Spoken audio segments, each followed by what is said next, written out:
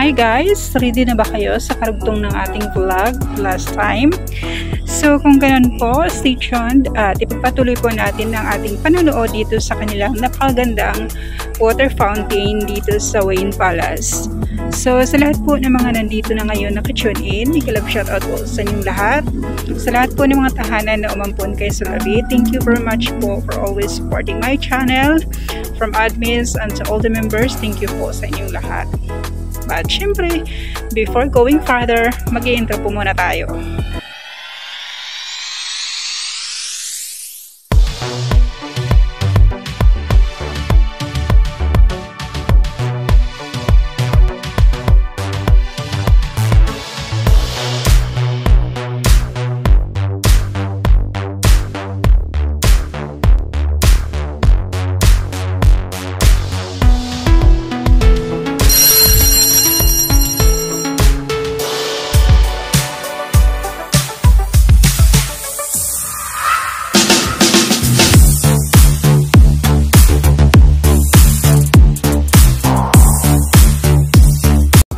Hello everyone, welcome back to my channel. For today's video, let's just continue our adventure here in the Wen Palace. And this is nighttime so panoorin po natin ang kanilang napakagandang water fountain na uh, nag-iiba-iba po talaga yung tugtog pero po kasi hindi po natin pwedeng kunin yung buong tugtog na yon, tinanggalan po natin siya ng tunog. So pinalitan na lang po natin kung anong pwede. So ayan po at sana po ma-enjoy nyo pa rin kahit iba na yung kanyang tugtog. Ayan. So sa lahat po ng mga tahanan na umumpon kay Sulabi, thank you very much po ulit. May galap shoutout po sa inyo. Sa lahat po ng mga admins at mga members na uh, todo suporta po sa aking channel. Thank you very much po sa inyong lahat. So, ayan guys, ipagpatuloy ko po ang pagpapasalamat sa inyo habang nanonood po kayo ng aking video for tonight. Uh, 9K na po tayo. Salamat ng marami po sa inyong lahat. Ayan to my family and friends, new YouTube friends, mga luma at syempre mga nandyan pa rin hanggang ngayon na hindi ako iniwan sa ere. So maraming maraming salamat po sa inyong lahat sa patuloy pong pagsubaybay sa aking mga vlogs at patuloy pong pag-subscribe sa aking channel. Thank you very much po sa inyong lahat. Ayan. At sa lahat po ng mga dumadalaw po sa aking channel at hindi pa po nakasubscribe, baka naman po, subscribe na rin po. So muli, sa inyo pong lahat, maraming maraming salamat po sa lahat po ng mga tahanan at mga uh, sumusuporta sa aking channel. Thank you very much po sa inyong lahat, mga bago man o mga datihan pa talaga as in simula no nag-umpisa tayo na mag-YouTube na nandyan pa rin hanggang ngayon nakasubaybay pa rin sa aking mga videos at sa, syempre uh, nakasupport pa rin sa aking channel. Thank you very much po sa inyong lahat. By the way guys, sa mga ka-tune in pa lang, this is the water fountain show of the Wayne Palace. Uh, I hope you will enjoy my vlog for tonight. This is just the continuation of my vlog last time and this is the part 2 and we're going to continue watching here the very beautiful water fountain show here in Wayne Palace. So, hindi na po ako magdadaldal ng marami pa at sana po ma-enjoy yung aking vlog. Sit back, relax, and hope you enjoy my video for tonight. Enjoy watching po.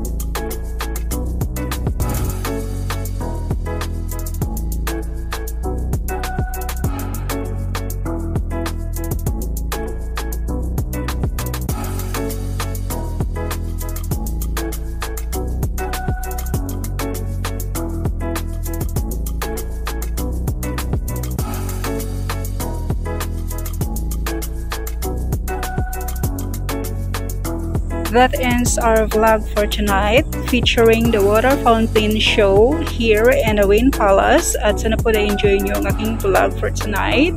Thank you very much for watching and please don't forget to like and subscribe if you are new to my channel. Thank you very much po.